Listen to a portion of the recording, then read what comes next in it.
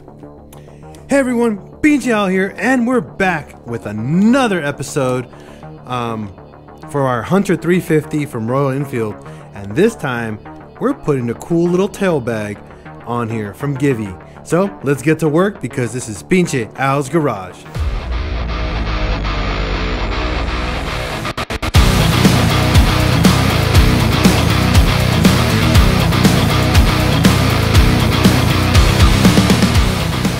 So before we start, we always got to give a big thanks to our sponsor, Hitchcock Motorcycles, for providing us the product that we're looking for from the other side of the pond. Uh, they actually from the United Kingdom, one of the best suppliers out there for your Royal Enfield. Pretty much from stock parts, aftermarket, bags, mirrors. I mean, there's so much stuff you can get for these bikes, and that's directly from their website. And extremely fast shipping from DHL as well. So, without further ado, let's get back to work. So, on this bag, this is the Givi bag, and this bag is the EA 132B tail bag, and with the belt system. So, um, one thing that I learned about um, these universal bags, they don't have like a clip strap. Pretty much, you gotta like route them and then pull on them and strap to them, and then they got these little bands to just hold it in place. So, first thing you need to do is unbolt your seat. Okay. Then put your strap underneath, just like this. Okay, so you got one or two ways of doing this. Um, you got that little notch right here at the bottom. You can try to number one, put the strap uh, before it, so right over here, not after. Um, so we're gonna try that first. 'Cause we want to see where we line up um, the bag because this is you don't get much strap you see here and you're literally just putting these straps on to hold it in place uh, it's not really gonna tie it down I would probably invest in maybe some universal clips or something that has more of like a, uh, a, a tension strap but for right now we're gonna be doing it this way. So put the set the bag where you want it. Now this is kind of a hoop system, so you want to go over, under,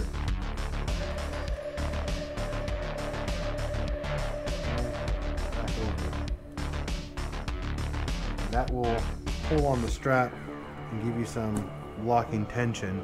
Now keep in mind you can do it this way. Okay. Um, you can also go forward. under and backwards like this. Okay. And the nice thing about this, if you do it this way, you can put the strap on this side like that. So you have it right there where the tension is at. Um, if you got enough slack, I would probably try to hoop it one more time within itself. Um, the reason for this, for I mean, uh, the way I like to do it this way, um, it's just another preventative measure. To, so hopefully that strap will hold itself down. Um, probably maybe invest in maybe uh, like if you found a spot how you want it, uh, probably sew it by hand and clip it in place. That way you don't have a weight of this coming apart. So if the bag does get loose and wants to fall off, it's really going to be held by a couple little stitches. Again, if you're not planning on removing the bag and like worried about losing or anything like that, this is just a good option. It's just preventative measure. So we're gonna do this side. We're gonna repeat on the other side.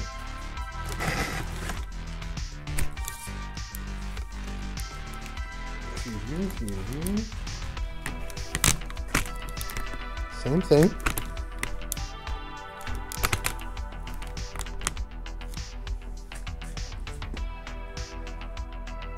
I like again, I like feeding it through the front because it gives me a better visual on how much strap is actually left. Like that. And then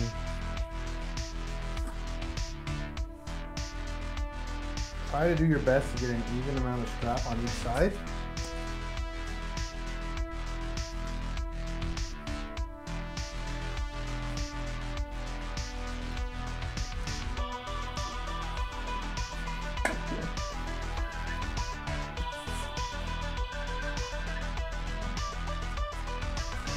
Now what you want to do is kind of center your bag where you want to have it and then you kind of want to pull on these straps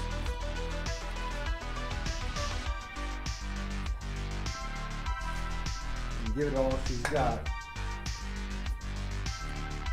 Because your goal is to have a decent amount of tension on the bag so it doesn't give way. Then you can pull this bad boy back in here.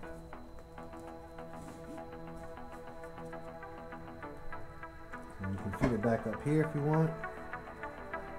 Try to. Or maybe you can do this.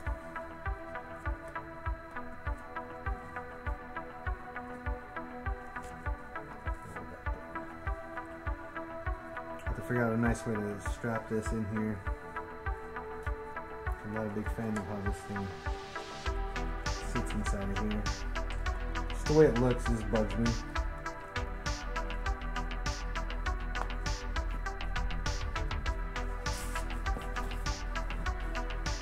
But that right there, we're gonna repeat the process on the other side, the second strap, but it's on. It ain't going anywhere. So I ended up just doing it the same way I did the back. I was curious if I could do it a different way, but nothing kind of made sense if I did any other way that would hold the strap nice.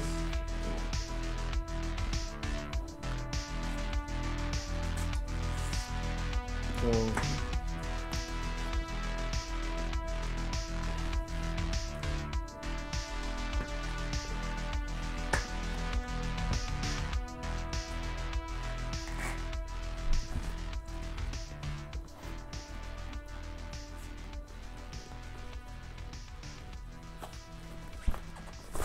Uh, no.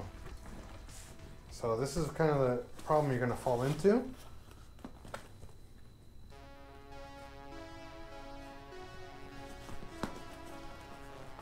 So one thing I noticed is there's a spot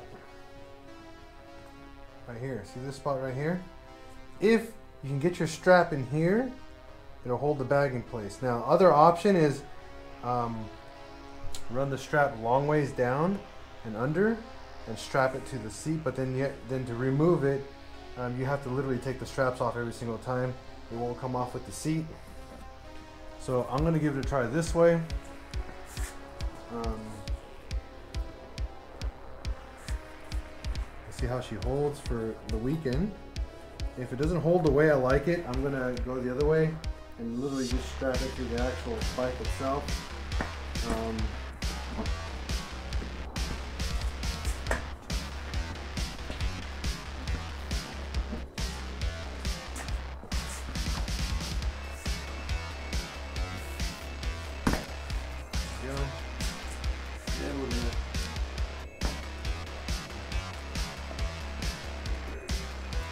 so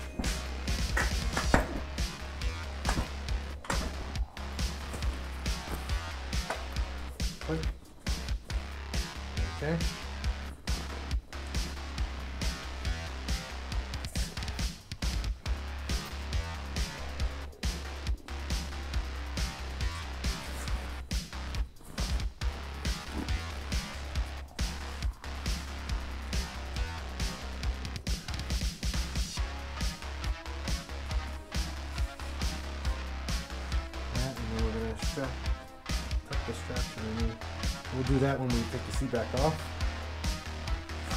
Tuck the straps underneath, tuck it in nice and clean, and then get your little Givi bag installed. So I'll give you guys my full review of my little Givi bag after I ride with it for a good week or two to see if I'm gonna keep it this way or if I'm gonna strap it to the actual chassis of the bike um, to hold it in place. But from right now, this 11 quart um, or 11 liter, sorry, 11 liter bag is perfect for what I need it for. It's perfect for uh, pretty much bringing a pair of pants, like a, not riding pants, but like a windbreaker pants, uh, water, my camera gear, batteries, just and another pair of gloves. Something for really quick road trips, uh, especially long ones when you just quick accessories, maybe throw your wallet and other stuff in here so it's not in your pants and annoying you. So all in this little bag. And then I got this cool little strap on top of here too to hold anything uh, smaller that you need to strap on here. Maybe a tripod or something else. Uh, like small, again, small gear here. I like it, uh, especially for the cost and the brand. Givi, it's one of the best brands out there for bags.